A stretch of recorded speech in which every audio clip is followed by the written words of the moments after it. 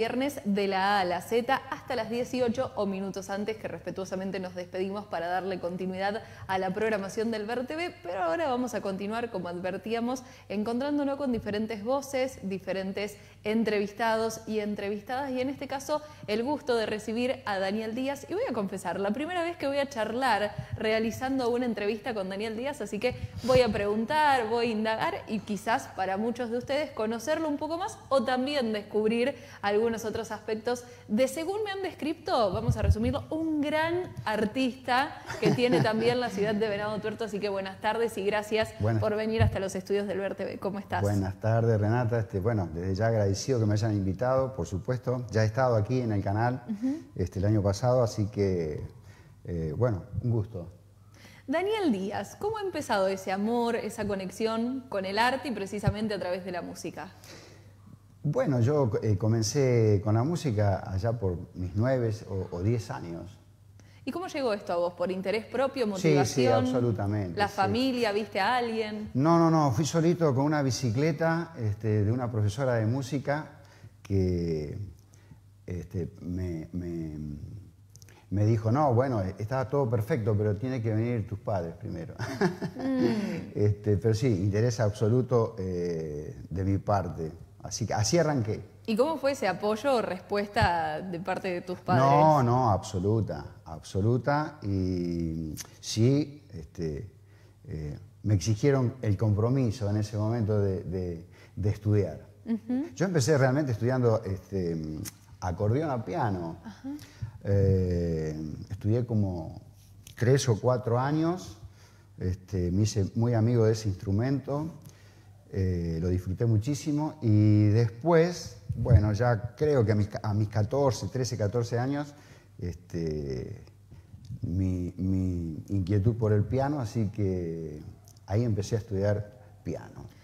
¿Y el acordeón? ¿Era algo que vos deseabas hacer o había ahí quizás algún otro instrumento que te hubiera gustado, pero bueno, era la posibilidad en ese momento? No, no, no. Este, vos querías hacer música. sí, y como tenía, eh, eh, fíjate vos, casualmente, ¿no? Eh, tres vecinos, que no era poco, tres chicos de la misma edad, que estudiaban eh, música y precisamente acordeón. Eh, y tocaban muy bien estos chicos. Entonces, este, eso también me entusiasmó muchísimo y elegí ese instrumento en ese momento. Sí, sí. Todo esto sucedía aquí en la ciudad de Venado Tuerto. Sí, absolutamente. ¿Y cómo te encontrabas quizás en aquel entonces, como vos decís, tres compañeros, tres amigos y es como mucho que hubieran estado adhiriendo a este mismo gusto que vos? ¿Cómo te encontrabas con eso? ¿Con quienes iban a tomar clases era más habitual que en la actualidad? ¿Cómo era ese mundo del poder aprender, del poder interpretar un instrumento, de hacer música? Bueno, yo creo que eh, en ese momento... Eh, me atrevo a decir, éramos mucho más comprometidos con el mm. estudio y nuestros padres también, eh, bueno, nos pagaban esa mensualidad para estudiar y, nos exigían que estudiemos y mm, nuestros profesores eh, también eran muy exigentes, eh, todo se llevaba mm. cosa que hoy no, no, lo, no, lo, observo tan así. Es más, yo he dado muchas clases, no solamente aquí, eh, fuera del país también, pero eh, el compromiso actual mm, no lo veo como en aquel entonces, ¿no? Es mi apreciación este, humilde. Y aquel Daniel que a los nueve años tuvo esa inquietud, se fue solito de esta profesora, de esta mm. y luego desde la formalidad y acompañamiento afortunadamente de tus papás, ¿Cuándo fue quizás esa primera vez que subiste a un escenario o que hiciste una presentación con cierto público? ¿Eras el músico de la familia en los encuentros? Sí, por supuesto. Era el músico de la familia, era este, el músico tal vez eh, en algún momento del colegio. Mm. Eh, así que muy tímido, muy, muy, muy... Eh, me costaba muchísimo subir a a un escenario a esa edad este, a, tocar. Sí, sí, sí, me resultaba este, difícil. Pero bueno, em, era un niño y a veces Este, así, así se dan las cosas cuando uno es niño. ¿Y cómo fuiste trabajando eso para poder amigarte con el escenario y entender que eso también era parte del disfrute, más allá del aprendizaje, de tocar un instrumento y de tal vez hacerlo en tu entorno cercano o con vos mismo dentro de una habitación? ¿Cómo te fuiste amigando con el escenario y tal vez cuáles fueron esos recuerdos que tenés? Bueno, eh, yo comencé a estudiar piano. Eh, hasta que, eh, digamos, yo creo que fue allá por, mis 17 años donde conozco, conozco a, muchísimos músicos que hoy están rodando por todos lados. tenía de vecino, que fuimos toda la vida vecinos, nada más ni menos que, a J. Morelli. Y, sucedió que un día me vinieron a buscar, eh, justamente para armar en aquel momento una banda, eh, eh, dos grandes músicos también de aquí de Venado, Quintino Sinali y, Javier Puniet. Fue Les mandamos un saludo. Claro que sí, los amo, los adoro y, fueron ellos este, mi, mi primer paso y en realidad ahí fue la primera vez que, comienzo a tocar con una banda. ¿El nombre de aquella este, banda? Sí, eh, lo recuerdo, se llamaba Remis.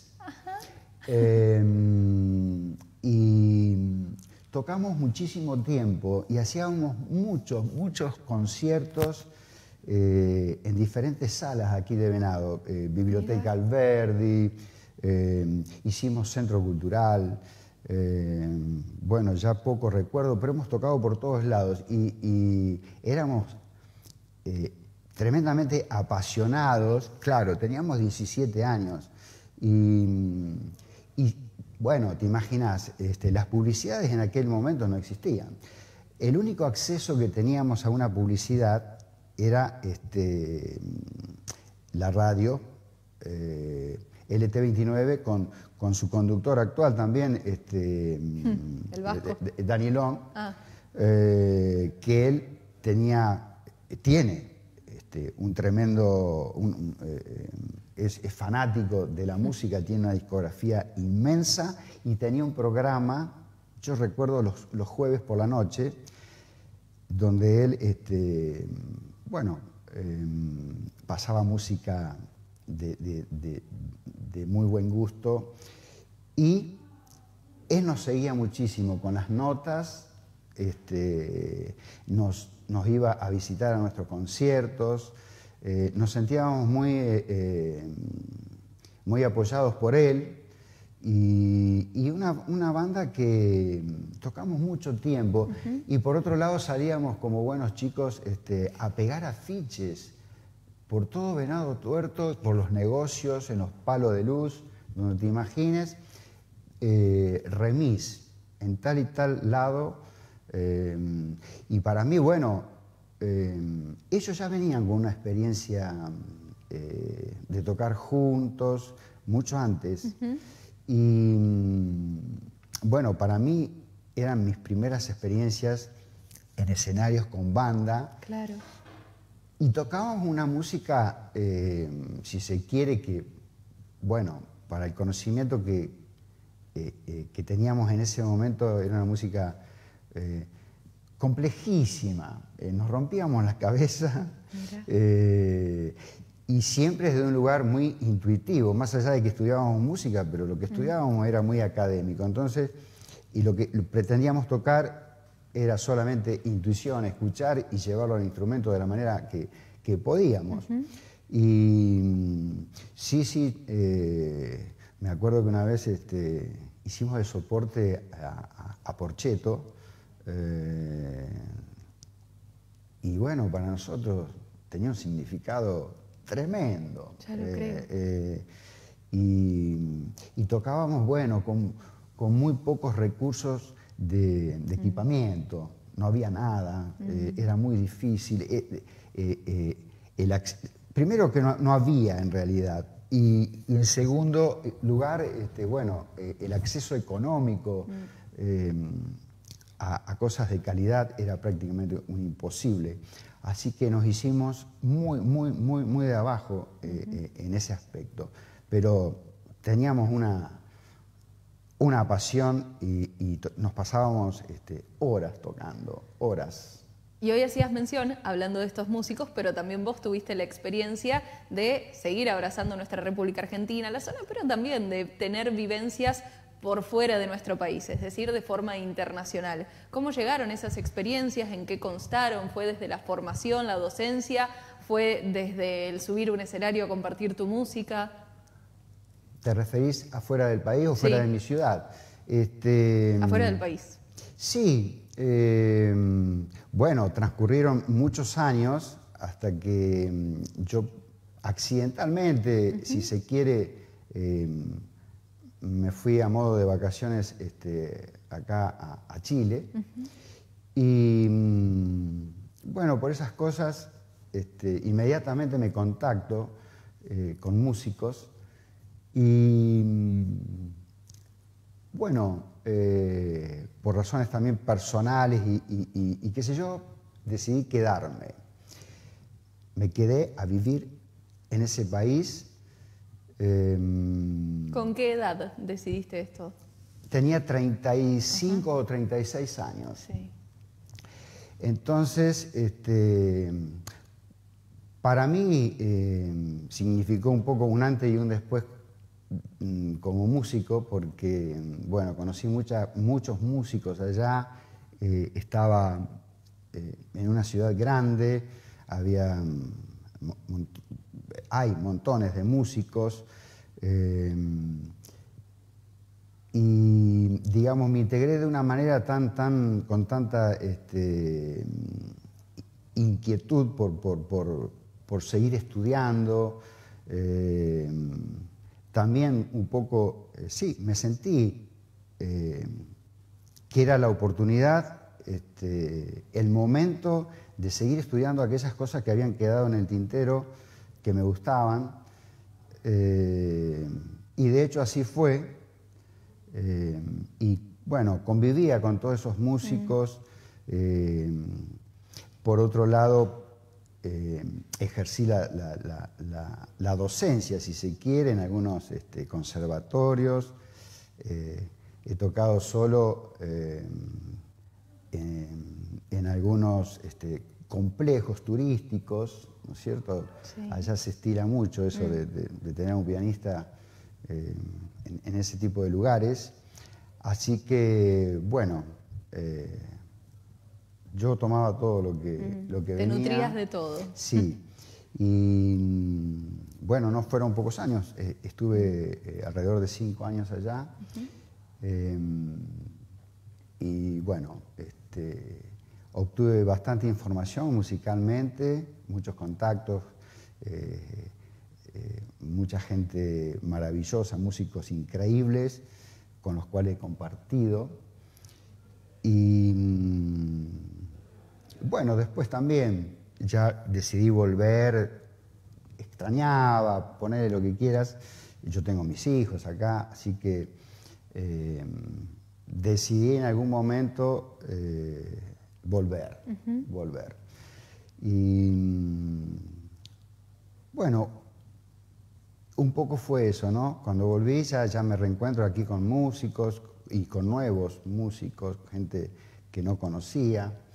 Eh, y seguimos haciendo presentaciones aquí en, en, la ciudad.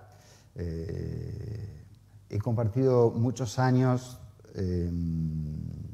de tocar con, con, esta banda ya legendaria, ¿no? Eh, Ojo Bizarro, que, mm. em, bueno, hemos tocado infinidades de veces juntos, como invitado o no, a veces este, participando de algún tributo en especial.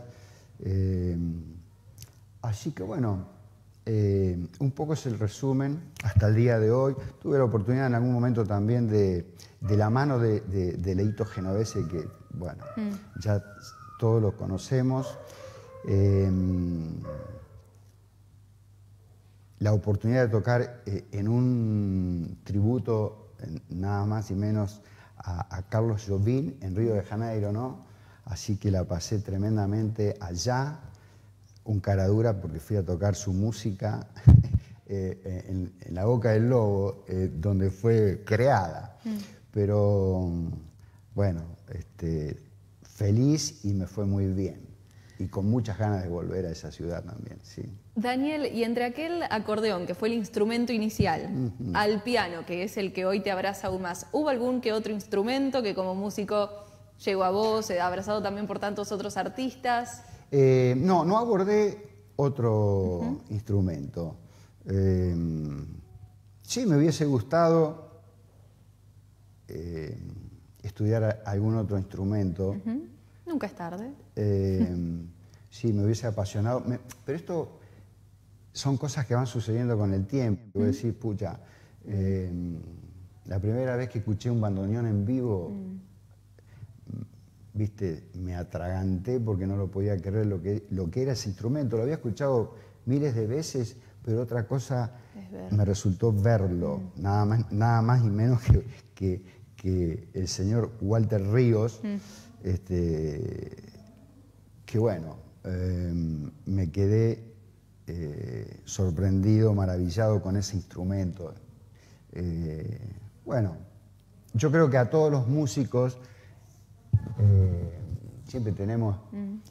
el gusto por, por, otros instrumentos y, nos, hubiese gustado estudiar y llevar adelante. Hoy se da en muchos músicos jovencitos. Mm que abordan eh, mm, más de un instrumento. Eh, hay chicos, genialidades este, en todo el mundo. Eh, ya no es el baterista, el pianista, el bajista, el chelista.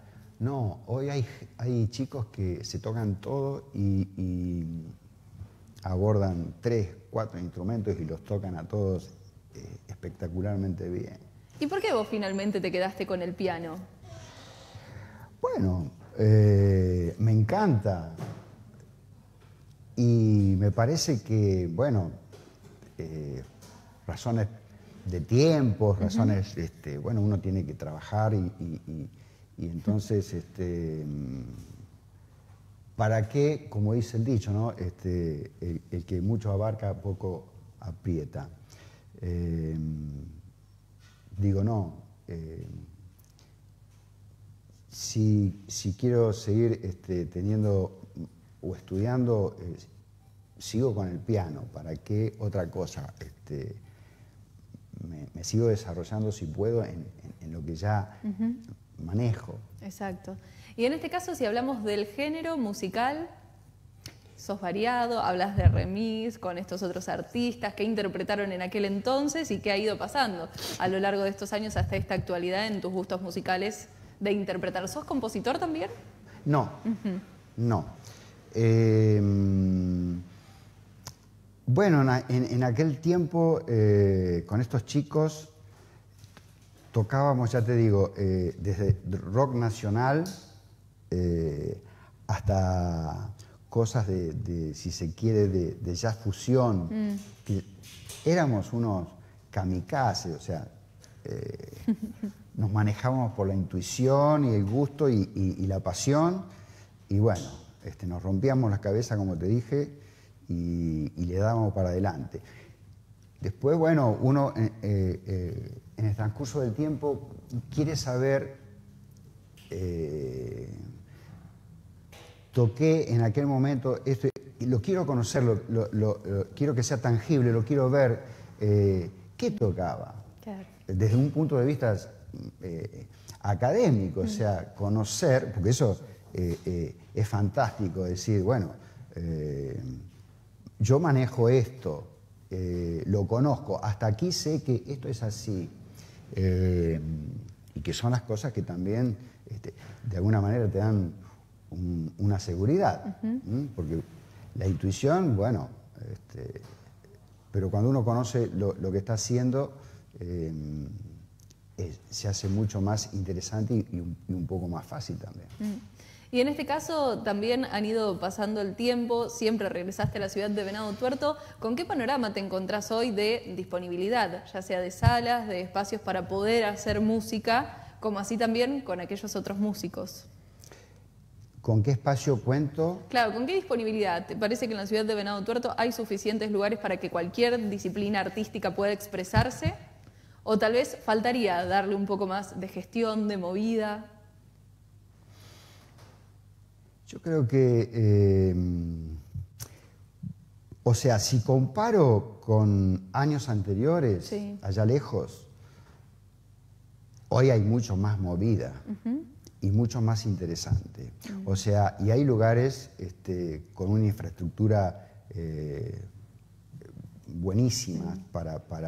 para, cualquier este, eh, eh, em, rama artística. Mm. Así que si lo miro respecto al pasado, no, creo que Venado hoy tiene ya mucho más lugares y también también la convocatoria. La gente hoy también, yo veo que, que, va. Mm. Em, em, veo más inquietud en la gente, la gente va a los espectáculos, cosa que em, era, era muy difícil antes. Siendo que hoy hay tantos otros, entre comillas, atractivos para quedarse sedentario en el hogar, podríamos decir, y que antes tal vez contábamos con menos tecnología, la televisión. La, yo, la gente hoy va mucho a, espectáculos, exposiciones, lo que sea, eh, muchísimo más que antes. Tal vez, este, no sé, sean las, las redes lo que hace un poco de, explosión y porque, o sea, gente para, para que vaya a un lugar a, ver eh, cualquier cosa, ya hablemos teatro, música, lo que sea, eh, la hubo siempre. Mm. Pero bueno, la gente no se enteraba. Eh, no, no, no, no, no, no, no, teníamos la forma de, pero yo creo que la gente la hubo siempre así inquieta por, por bueno, no sé qué cantidad, qué porcentaje, pero siempre hubo gente. Y hoy se da esta posibilidad de que la gente se entera. Eh, se entera y va. Por lo menos es, es lo que yo... Y bienvenido sea, como siempre decimos, que se animen, se permitan disfrutar de todas las producciones que ustedes realizan como músicos venadenses y que tienen todavía la acción de decir, bueno, más allá de toda experiencia que tuve y lugares donde puedo estar, vuelvo a mi ciudad y realizo aquí también, así que bienvenido sea poder disfrutar y nutrirse de eso y no siempre esperar que llegue por el nombre, quizás desde algún otro lugar, porque bueno, al menos yo soy pueblerina, así que voy descubriendo y sigo descubriendo en estos años de venir a estudiar y de vivir aquí en Venado Tuerto, la gran cantidad de talento que hay en las diferentes manifestaciones artísticas acá nomás. en Venado Tuerto o en la región. Muchísimo. Y en este caso, hablando de muchos artistas y de talentos, nos convocó, arrancamos la charla indagando sobre vos, pero puntualmente también el objetivo es poder invitarlos a ustedes a esta presentación que se va a estar dando mañana en 1927 Multiespacio y que te van a estar acompañando muchísimos artistas. ¿Quiénes son? Em, Ahí tenemos el flyer para compartir en pantalla y repasar cada uno de ellos, por si alguno queda allí fuera. Que no, nos olvidemos. Claro. Eh, sí, y voy, a, voy a, aprovechar para hacer una aclaración. Sí. Em, bueno, los, los decidimos... Eh, Ahí está el listado, por si querés ir leyéndolo. Eh, está, mm, me acuerdo. Son muchísimos somos muchos. Eh, en realidad, eh, vamos a hacer una banda, digamos, ya... Eh, no, va a ser precisamente lo que se llama a veces como jam session, donde los músicos acuden a un lugar a tocar cuando ya hay una banda estable, digamos, de tres o cuatro músicos, y vienen cayendo este, otros músicos, pero esto es otra cosa, pues ya esto está armado. Claro. eh, no es una jam session donde, o sea, eh, los músicos arrancan esta noche, hay jam en, tal o cual lugar y, van, participan, improvisan, bien. Este, deciden en el momento qué se va a hacer y listo. Esto no, no, esto está este, ensayado. ensayado, está este, previsto. Claro. Y bueno, nuestra banda estable seríamos este, eh, Juan Mangelini, un, tremendo músico de aquí, local, este, Flavio Adra, guitarrista también, gran músico. Juan, ¿qué interpreta? Bajo, Bien. bajista. Flavio, que toca, es un guitarrista también ya muy reconocido y somos amigos de años, con todos. Em, bueno, un chico muy joven que es el baterista, eh, Julián Leavi, y yo. Esos seríamos los cuatro músicos, digamos, este, que vamos a, presentar al resto que va a, participar y a aportar, ¿no es cierto? Esa fue la intención eh, de convocar e invitar, ¿no es cierto?, a, cantantes y, músicos. Entonces, este, bueno, tendríamos tres, cantantes, este, tres chicas, eh, una de ellas que es eh, Patti Sánchez, este, hablábamos hoy de, Mel. Eh, Melanie Melanie. Y este, Keila, que todavía hace tan pocos días que la conozco que no, no sé su apellido, pero bueno. Eh, Keila Miatelo. Sí, exacto, se canta todo, una chica muy jovencita, un talento increíble. Em, y otro de los músicos ya, por supuesto, súper reconocidos aquí, este, Julián Baroño, lo mencionamos. Eh, Fernando Resk, me parece que bueno, falta y Fernando, eh, bandoneonista increíble, un chico de Buenos Aires. Somos amigos de la adolescencia, porque él vivió acá, aquí, en Venado, y hicimos secundario juntos. y actualmente lo convocaste para esta ocasión. Y él se fue de nuevo a Buenos Aires y después este, directamente abocó su vida al bandoneón y siempre anda allá por, por, donde más pega el bandoneón en este mundo, que es por Asia y Europa también. Así que se la pasa por aquellos lados. Y como precisamente está aquí, en Argentina, lo, invité. Pero bueno, lamentablemente, este, por razones de salud mm. de, un hermano más chico de él, eh, me avisó que no puede venir.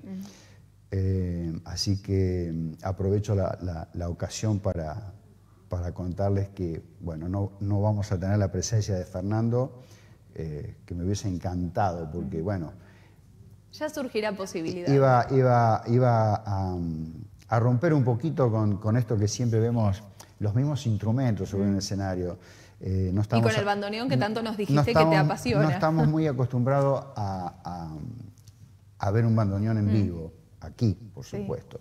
Y me pareció genial invitarlo, pero bueno, este, no se dio y en otra oportunidad se dará. Así será.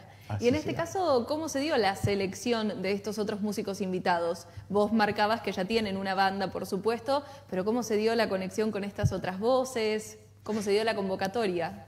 La convocatoria, mira, no. Em, esto, esto surge en realidad. Em, porque yo me vengo preparando un repertorio eh, eh, como solista desde hace unos meses, porque se entiende que yo el mes que, eh, no, el mes que viene, no, en septiembre, yo me iba a, digo me iba porque tuve que reprogramar todo ese viaje, me iba a tocar, hacer algunos conciertos este, en algunos países de Europa. Eh, y justamente por razones de, salud de un familiar, eh, reprogramé ese viaje porque, bueno, eh, no me quiero ir hasta que eso... Este, mm. ¿Era la primera, ¿Es la primera vez que vas a tener esta experiencia o ya estuviste por allá? No, no, no, no. Es la primera vez. También, lo digo con, todo orgullo, este, de la mano de Leito, que me abrió puertas allá para, para, para llevar nuestra música en este caso. Nuestra música me refiero tango, folclore, eh, bueno, y algunas otras cosas ahí diferentes, pero en principio planteé llevar nuestra música. Claro. Y para este viernes al final, ¿cómo han proyectado Ah, bueno, el repertorio, el género que- musical? A modo de, de- de un poco, eh, eh,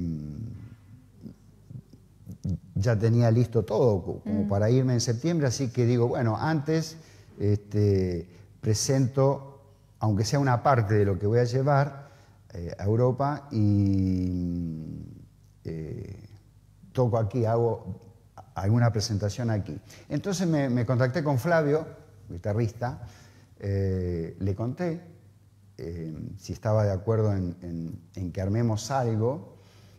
Eh, inmediatamente eh, el sí de Flavio y mm, ahí nos contactamos, digamos, con, bueno, con los instrumentos básicos que siempre este, hacen falta para, para armar una, una banda, básicamente. Y dijimos, bueno, ¿qué, qué, mm, qué impronta le damos para, para- también para convocar Claro. este, gente? Y decidimos eh, invitar a, a, a todos estos gente que se cantan todo, que nos conocemos y que cada uno tiene su estilo personal. Es decir, este, eh, esto va a ser un concierto tremendamente variado en géneros musicales. Eh, ¿Por dónde nos van a pasear? Por todos lados. Acá va a haber, eh, va a haber tango, va, va a haber un poco de, de jazz, va a haber este, mm, bl- blues, eh, eh, boleros, eh, y, y, si se quiere también algunas canciones eh, legendarias, antiquísimas, de, de tremendo peso a nivel internacional, que son muy, muy lindas. Eh, bueno, también vamos a tocar eh, música del Brasil. Eh, así que vamos a pasear por, por varios lados. Y Van a sumar varios kilómetros incluso. esa, esa es absolutamente la, la intención del concierto. Bien. Este, mostrar de todo un poco y también la participación de, de mucha gente. Así que una invitación bastante amplia para el público y todos sus gustos, para poder quizás disfrutar de aquello que no adhiere tanto con frecuencia y Eh, para también encontrarse con eso que tal vez elige en reiteradas ocasiones. Exactamente, eh, va a ser una cosa, este, yo no digo, no hablo ni, ni de especial, ni no, simplemente algo diferente, ¿no es cierto? Este, no es una cosa que voy a decir, bueno, esta noche voy a escuchar eh, Claro. blues o esta noche voy a escuchar tango, esta noche- no, vamos a hacer de todo un poco. Bien. Y va a estar, va a estar bueno porque, bueno, eh, bueno, eh, así será. Así será. Daniel, ya advertíamos que esto es inmediatamente mañana, viernes. Mañana viernes, ¿En qué formato se va a estar dando? ¿Va a ser una cena show, por llamarlo de una forma? ¿Va a ser posterior al horario de la cena? No, no, no. Esto este, eh, va a ser en el auditorio donde ya este, está en todos los flyers y publicidades. Eh, el auditorio es, es una sala que, que- hermosísima, ¿no? Y la gente, bueno, eh, por lo general, de acuerdo a, a las experiencias que tengo en ese lugar, va eh, o con su familia, con sus amigos, con quien quiera, generalmente cenan. eh, y bueno, en el durante ven, Bien. digamos, al- al show. ¿Para qué hora está previsto comenzar la convocatoria? Está previsto, de acuerdo a la publicidad, para las 21 horas. Bien. Si no me equivoco. ¿eh? Vamos, ahí lo tenemos. Vamos a chequearlo, Si sí. no me equivoco. Mañana viernes 28 de julio, como estamos viendo el flyer en pantalla, Daniel Díaz en concierto con Melanie Trifiletti, Keila Miatelo, Julián Leavi, Julián Baronio, Juanma Angelini, Patti Sánchez y Flavio Adra. En este caso, todo sucediendo en Casa I 435, 1927 multiespacio. Y aprovechamos a pasar el número de contacto para hacer las reservas. Quizás pueden comunicarse al Instagram o al Facebook de 1927 multiespacio o con algunos de toda esta cantidad de artistas que nos van a estar deleitando con su música mañana a la noche. Y si no, el teléfono es el 3462 a través del WhatsApp 66 34 92. ¿Algo que nos reste agregar? ¿Algo que te haya quedado con ganas de decir, compartir? No, solo que, bueno, están todos invitados eh, y que la vamos a pasar mm. súper bien. Eh, los que vayan a escucharnos y nosotros desde arriba del escenario seguramente eh, vamos a estar felices de poder aportar nuestra música y nuestra pasión por esto. Eh, así que bueno, están absolutamente todos los que quieran ir, escuchar, pasar un grato momento. Esa es nuestra, nuestra intención. Hacías hoy mención de que esto, si bien tendrá alguna improvisación tras alguna solicitud del público, pero está previsto, ensayado, programado. ¿Cuál sería la duración estimada de esta presentación? Eh, justamente vos has dicho estimado. Em, sí, yo creo que dos horas sin ningún lugar a duda, como mínimo. ¿eh? Bien, buenísimo. Muchas gracias. No, gracias a vos, Renata. Ha sido un gustazo. Hasta pronto y, que se dé eso que estabas planificando y debió reprogramarse y que se dé todo aquello que deseas. Claro que sí.